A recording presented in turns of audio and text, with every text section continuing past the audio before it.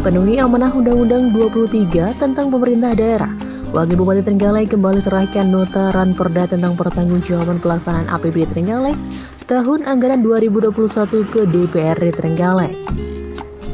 Laporan pertanggungjawaban ini seiring dengan derahnya opini WTP ke-6 dari BPK.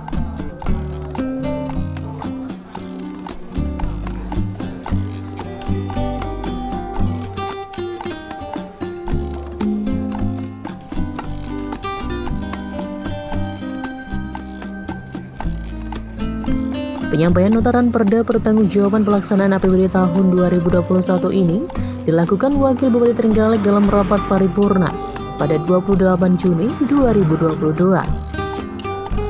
Dalam pertanggungjawabannya, Wabuk menyebut realisasi pendapatan tahun 2021 mencapai 101,51 persen dari 1,83 triliun, terrealisasi 1,85 triliun Angka ini melampaui target yang telah ditentukan sebelumnya. Wakil Bupati Trenggalek Syah Muhammad Negara menjelaskan di sektor belanja, pemerintah Kabupaten Trenggalek merealisasikan 90,32 persen dari total anggaran yang ada. Artinya, dari 2 triliun 37 miliar anggaran belanja hanya terrealisasi sebesar 1 triliun 840 miliar. Sehingga pada tahun 2021, APBD Trenggalek mengalami surplus anggaran sebesar 19 miliar 798 juta.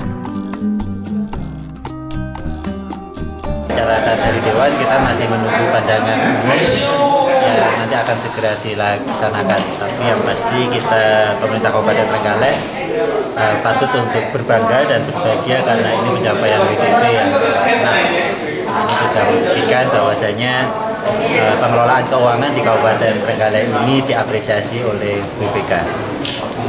Dari belum belum. Masuk ke kita. Masih nunggu nanti pandangan umumnya. Nanti kita akan kaji tapi kita meyakini Nah, catatan-catatan yang akan diberikan ini nanti pasti untuk membangun Trenggalek lebih baik lagi.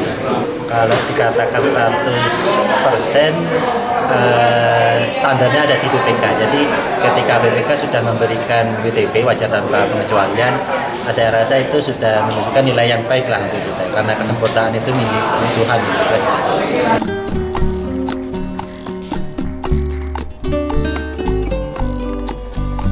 Syah juga menambahkan di sisi lain untuk jumlah sisa lebih pembiayaan anggaran atau silpa pada tahun 2021 sekitar 224 miliar.